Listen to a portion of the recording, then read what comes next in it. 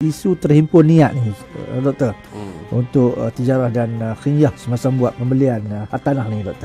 Baik. Jadi uh, apabila kita membicarakan berkenaan dengan zakat hartanah ni adalah isu teknikal dekat ya, situ. ya. Ha, banyak isu teknikal. Maka dengan sebab itu ya kita perlu uh, mengetahui ya. uh, ketika mana kita perlu bayar zakat ataupun ketika mana kita tidak perlu membayar zakat Aha.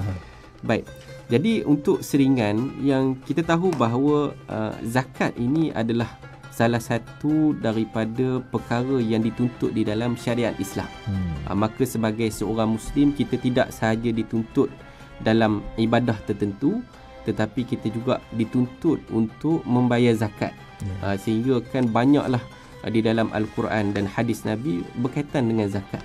Dan hatta uh, para kerana apa zakat ini sangat penting ya adalah untuk membantu ya, mereka-mereka yang memerlukan. Hmm. Ha, ini kita tahulah, ha, kita sedar yang mana zakat ini adalah sa- salah satu daripada sistem sosial ekonomi umat Islam hmm. yang berlangsung daripada dulu sampailah ke hari ini. Hmm. Yang banyak membantu, yang bantuannya adalah secara komprehensif iaitu 8 golongan asnaf itu eh, tak kira lah ha, kalau orang tu fisabilillah pergi belajar mm-hmm. uh, walaupun uh, kadang-kala mungkin keluarga yang senang tetapi disebabkan kemudahan fisabilillah itu mm-hmm. uh, dapat juga uh, di, uh, dapat zakat untuk tahu bahawa uh, semakin ramai ya orang kehilangan kerja dan yeah. sebagainya itu itu adalah itulah uh, daripada zakat ni sebab itu zakat ini dia membawa impak yang sangat besar lah uh, di dalam ekonomi terutamanya ekonomi umat Islam. Uh, hmm. jadi maka dengan sebab itulah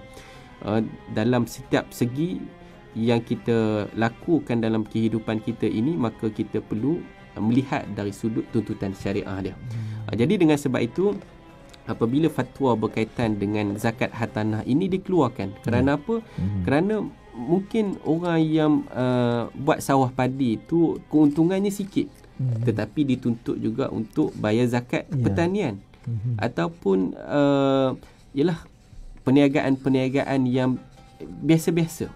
Uh, tetapi apabila melibatkan golongan-golongan peniaga-peniaga yang kecil ini, hmm. uh, tetapi sebenarnya pemaju-pemaju yang besar juga dituntut untuk membayar zakat. zakat. Oh.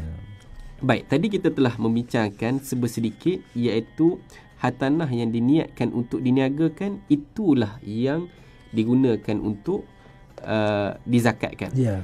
Mm-hmm. Uh, contoh yang pertama uh, seorang tu dia membeli hartanah dengan niat untuk menggunakannya secara ha-, harian. Maknanya dia nak diami, uh, dia nak simpan, dia hmm. nak guna apa. Dia tak nak pun uh, apa ni buat niaga. Yeah. Uh, tapi namun jika mendapat keuntungan yang sesuai, dia akan menjualnya. Uh, jadi uh, mungkin boleh jadi dia dia tengok harga pasaran semasa kan. Hmm. sebab tu penting niat tu tadi. Niat uh, sebab ya. tu dalam hadis Nabi uh, menyebut innamal a'malu binniyat. Yeah. Uh, itu kata uh, bahawa sesungguhnya setiap perbuatan itu bermula dengan niat. Hmm. Maka Imam Syafi'i kata uh, hadis tersebut merangkumi satu pertiga agama. Hmm. Uh, sebab apa?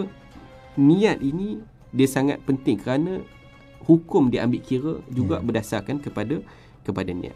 Jadi bila hmm. dia tak niat tiba-tiba ha, pada satu keadaan tanah harga dah okey apa semua. Ha, kalau di Perlis ni hmm. eh, tanah agak tinggi juga ha, dia punya nilai, nilai dia tu. Ha, nilai dia berbanding di jiran negeri sebelah kita. Hmm. Ha, jadi untung ha, untung ha, bila menjual tu.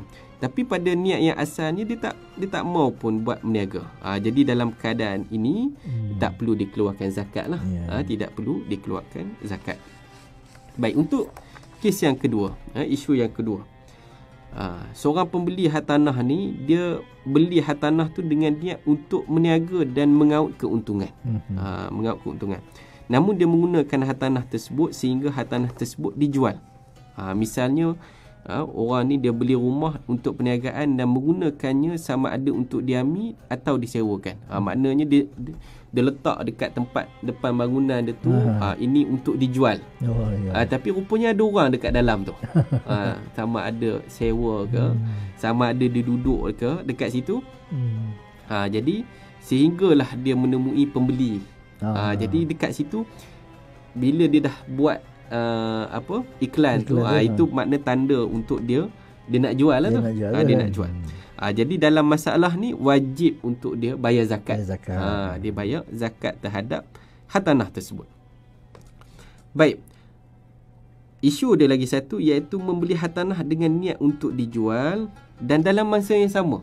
Uh, dalam masa yang sama dia guna untuk duduk. Duduk. Uh, duduk dengan kadar yang sama Ha, jadi dia beli rumah dengan dua tujuan iaitu untuk mendiami dan ataupun disewa. Ha, dan kemudiannya dalam masa yang sama dia nak jual juga. Ha, dia makna dihimpunkan lah kan. Ha, dihimpunkan betul. tujuannya. Dalam masalah ni wajib untuk dibayar zakat terhadap hartanah tersebut.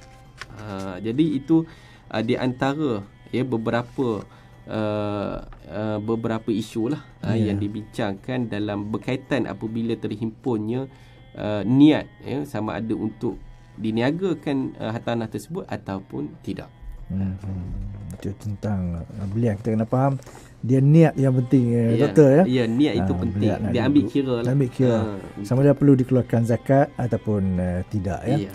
Jadi kita pun dah di penghujung sebenarnya doktor ya. ya. Rancangan beritahu fatwa ini dan mungkin kita tak sempat untuk kita kupas tentang uh, uh, formula taksiran zakat hartanah ni. Sebab ada formula dia doktor ya. Ah dia ada formula. formula Maknanya uh, bila hartanah ini jadi kita tahu uh, bila uh, kadar taksirannya tu hmm. dia mungkin berbeza sedikit dengan contoh zakat pertanian uh, dia ada khas dia punya kiraan dia. Yeah. Uh, kalau zakat uh, sewaan atau pendapatan ada dia punya perkiraannya. Mm-hmm. Uh, tetapi untuk taksiran zakat perniagaan ni ada perkiraan. Ada perkiraan uh, ya. Tu insya-Allah mm-hmm. kita akan bahaskan insya-Allah. Bahas, bahas.